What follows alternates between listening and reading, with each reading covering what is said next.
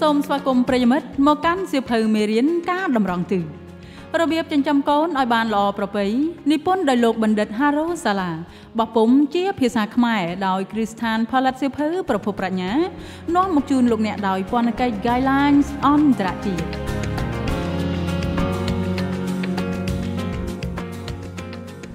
យើងនឹងបន្តជាមួយគ្នានៅវគ្គគោលការណ៍ណែនាំសម្រាប់ឪពុកម្ដាយមានកូនវ័យជំទង់ជួនកាល កូនវ័យជំទង់មានអារម្មណ៍មិនចង់ចូលរួមកម្មវិធីសង្គមហើយក៏មិនចង់និយាយស្ដី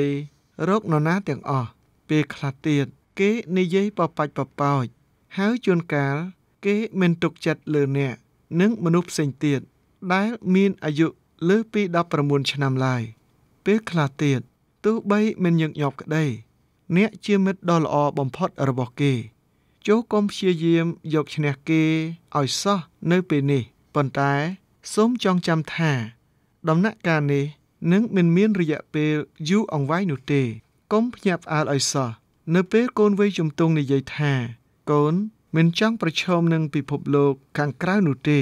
កូននៅតែចង់ធ្វើជាកូនតូចរបស់ម៉ាក់ដដែលគេចូលមកអង្គុយជិតអ្នក នៅពេលមើលទូរទស្សន៍ ដោយការដែលគេធ្វើកាលពី5ឬ6ឆ្នាំមុននោះ នៅពេលខ្លះទៀតការឈានចូលវ័យចាស់ទុំ ប្រញាប់ពេករបស់គេ ធ្វើឲ្យគេនិយាយថា កូនមិនត្រូវការឲ្យម៉ាក់ឬប៉ាប្រាប់កូនថាកុំភ្លេចពាក់អាវធំ ឬលាងជើង នៅពេលចូលមកដល់ផ្ទះនោះទេ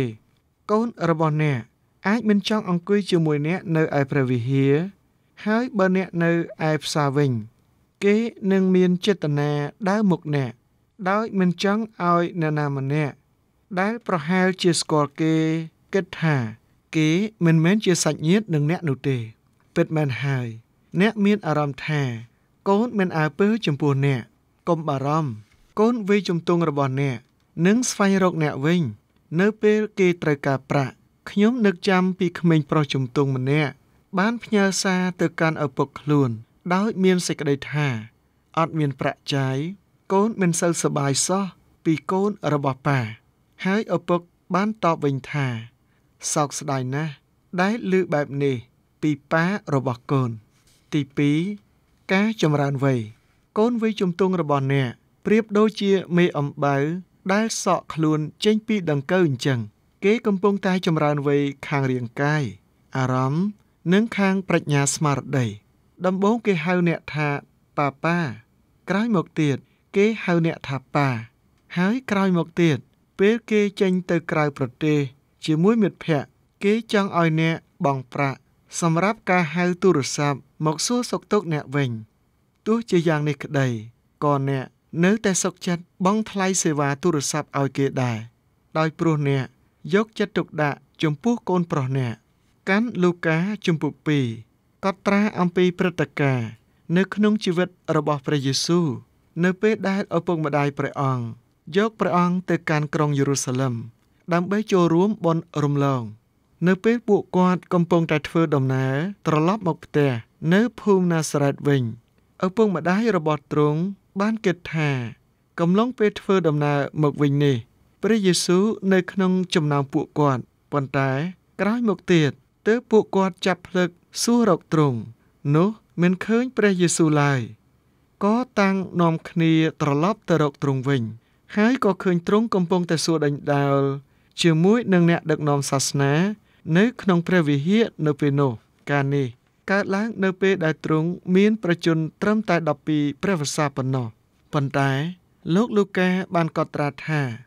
នៅពេលដែលព្រះយេស៊ូវកំពុងតែយាងត្រឡប់ទៅកាន់ភូមិណាសារ៉េតវិញ នោះ ព្រះយេស៊ូវបាននៅក្នុងអវាទរបស់គាត់ ហើយលោកបន្ថែមទៀតថា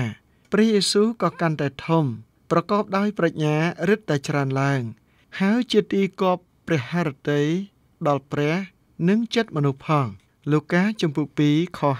52មេរៀនការតម្រង់ទិសរបៀបចិញ្ចឹមកូនឲ្យបានល្អប្រពៃនៅក្នុងវគ្គគោលការណ៍ណែនាំសម្រាប់ឪពុកម្ដាយមានកូនវ័យជំទង់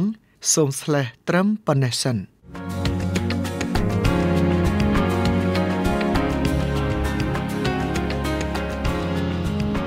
ចចាមេរៀននេះនិពន្ធដោយលោកបណ្ឌិត Haro Sala បោះពុំជាភាសាខ្មែរដោយគ្រីស្ថានផលិតសៀវភៅប្រភពប្រាជ្ញា